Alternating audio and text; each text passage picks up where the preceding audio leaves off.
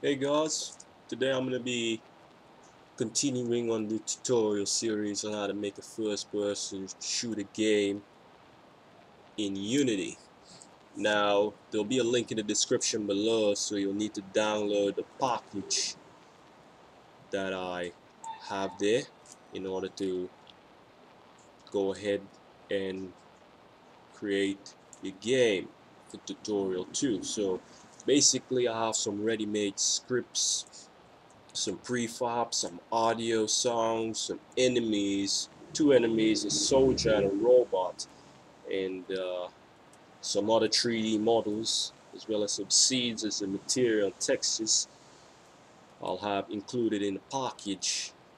So you can go ahead and get that. Uh, I found some very useful scripts and I've tweaked them up a bit to my liking, so I hope it helps you out as much as it did with me. So basically after you've uh, imported the package into your scene, you should get this folder. Just go ahead and open it up. If you're new, you can use the basic terrain tutorial 1 or you can use whatever uh, terrain you already have. So I'm going to try to make this tutorial sh very short. So basically what you need to do is go to enemy new, take the soldier, drag it into your scene. Uh, after you've dragged it in ensure that you ensure that the enemy is not inside of the terrain. And after that you're going to want to scale it because when you first drag it into the scene it's going to be a little big so just scale it down a bit.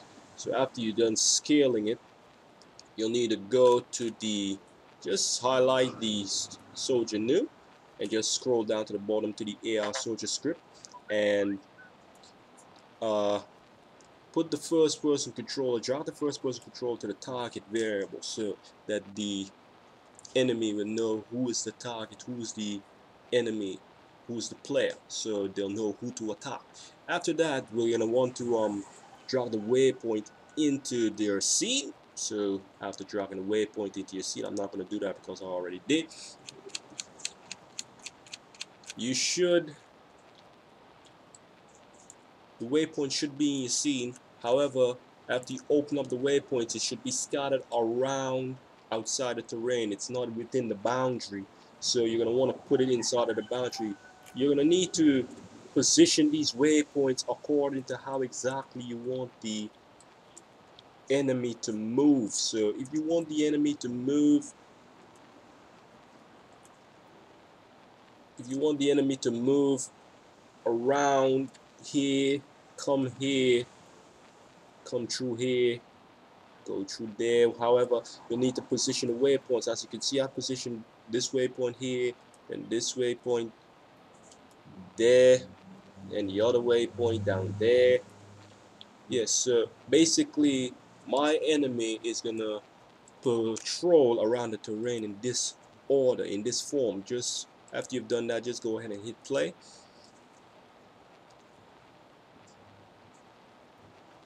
It should load up in any second.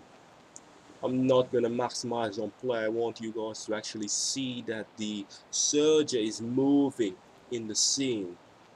So you'll see at the top in the scene view here that the soldier is moving. Any minute it should load I'm using a low end PC so it's gonna my performance is at maximum at the moment. I'm using a not a dual core single core processor so I'm not that fortunate. What it should do though for tutorial purposes. Any minute now it should load up. Voila. Alright then. The soldier is there. And as you can see the soldier is moving in the scene. Just press F to focus in on it. And you can see there he's playing a walking animation and he's walking according to the waypoints that I've set up in the scene. Just pay keen attention to the uh, pay keen attention to the enemy. You can see he just went from this here to this direction. Then he's gonna go to the other waypoint. Then the others that I've set up in the scene. So that's basically it. So once you follow the, uh, the instructions you shouldn't have much of a problem. So that's basically how you add an animated enemy with waypoint and making patrol with waypoint sorry. So yeah if you like this tutorial give me a thumbs up. If you have any problems you comment and I'll help you out as soon as possible.